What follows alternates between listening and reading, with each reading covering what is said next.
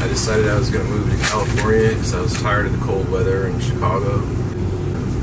Just moved there and started looking for people to play with and uh, started this band just to have a good time. Really, I, I had pretty much given up on trying to get signed at the time and uh, just found some cool dudes to play with and tried experimenting with a bunch of different stuff. And uh, after about a few years, we kind of turned into what we are, Disco.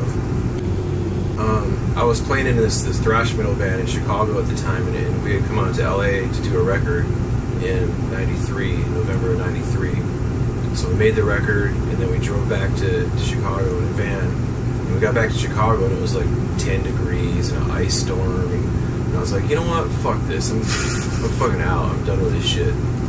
So I fucking gave notice at work.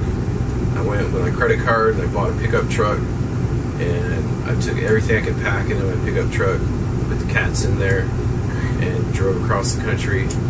And I knew one person in LA, so they let me stay at their house for like you know a week or whatever, so I could find somewhere else to live. Um, had this all this massive credit card debt because you know I was broke ass you know musician and I didn't have any money, so I, I what I did is I got two credit cards. I bought a truck with one, and then I lived on the other one for a while. I remember the world before the internet. Like I think the internet has ruined civilization as we know it forever. I, I think the the repercussions of of this is we're just beginning to see it.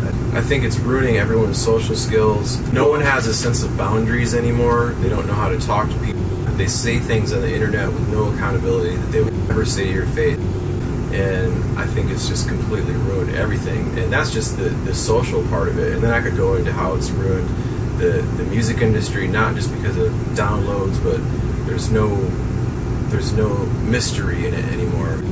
Like when I was a kid, you would wait, wait for months and months for, for your ne- favorite band's next record come out. And now you can just go on the internet and do a search on something. And there's videos on YouTube. Everyone is overloaded with all this information and yeah, I think it's, Most of it's it's not true.